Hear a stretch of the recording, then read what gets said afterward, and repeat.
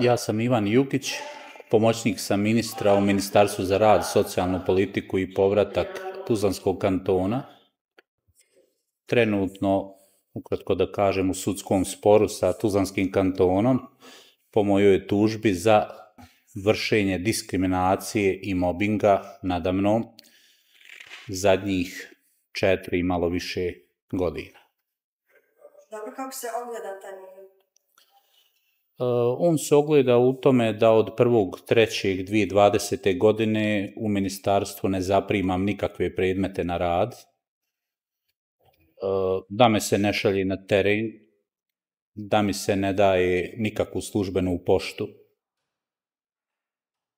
da me se ne šalje na stručna usavršavanja, ne zaprimam kancelarijski materijal, jednostavno neka vrsta neformalne izolacije i neke vrste, mogu slobodno reći, pritvora na radnom mjestu, izolacije od javnosti i od svih radnih procesa u ministarstvu, već godinama.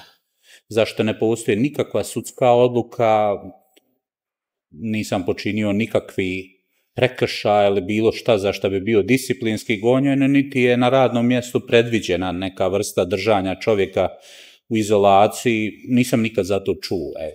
To sam samo doživio na svojoj koši. I, i dan danas se doživljavamo. Da li ste evo do sada podnosili neke žalbe?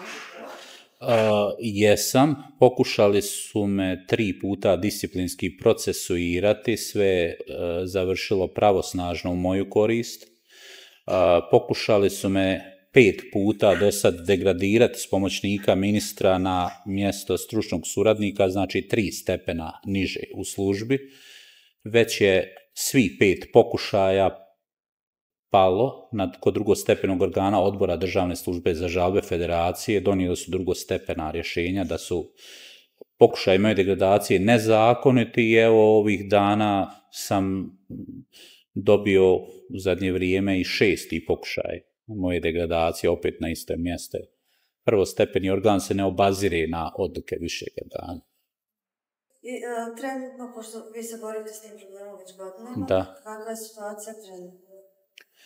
Situacija je Šta je trenutno... ono što, što sad slijedi, koji je vaš idući korak? Uh, moj idući korak je pravna borba za moja osnovna ljudska prava, pravo da radim, pravo na moje dostojanstvo, na socijalnu pravnu sigurnost i trenutno 10.6. ove godine očekujemo glavnu raspravu na općinskom sudu Kalesija zajedno s mojim advokatom Mirnesom Ajanovićem po mojoj tužbi od prošle godine za diskriminaciju i mobbing protiv tuženog Tuzlanskog kantona, vlade Tuzlanskog kantona i Ministarstva za rad, socijalnu politiku i povratak Tuzlanskog kantona u okviru kojeg djelujemo, u okviru kojeg mi se sve ovo i, i godinama i događa. U periodu četiri više godina, da, li- da li vam je pružena podrška? skoro nikakva.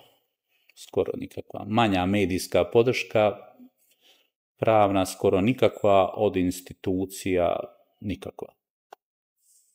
Jednostavno sam kao čovjek i pravnik i magistar prava, budući doktor pravnih nauka iz građanskog prava, eh, prepušten da se borim sam i nosim sam s ovim svojim problemima. Što se mene tiče, to, to je ove cijele naše priče, ako hoćete još nešto možda da spomenete, o čemu smo malo pre razgovarali, da smatrate da je važno. kažete. Pa volio bi da se malo podigne svijest da uh, organi u Bosni i Hercegovini, bez obzira kojeg su nivoa, postupaju sukladno zakonu ovaj, i da jednostavno ne bude samo floskula to jačanje pravne države, nego da se držimo propisa zakona. Ipak su ih oni donijeli, oni nekih se i drže, ne, makar oni nekih se drže ovaj, sa nama i evo, potiče mi te organe da, da se smanji beznađe evo u Bosni i Hercegovini, jer e, ljudi imaju, da kažem, djelimično i opravdanu potrebu da zbog beznađa idu seli odavde. Da se da neka nada evo, u bolju budućnost i da se e, naša vodstva i naši političari počnu baviti građanima koji ih plaćaju, a ne sami sobom i promocijom samih sebe. Vi ćete svoju borbu zasigurno nastaviti jer je ovo nesvakidašnji slučaj da se nekom oduzma osnovno pravo pravo. Da, ja za takav slučaj do sad nisam čuo, a ja, evo i ovako javno kažem da ja od svoje borbe do njenog uspješnog okončanja ili bilo kakvog okončanja neću ovaj, odustati nikad. I ne trebaju ni drugi građani odustati, ovaj, mislim da se boriti za svoja osnovna ljudska, građanska, socijalna prava isplati.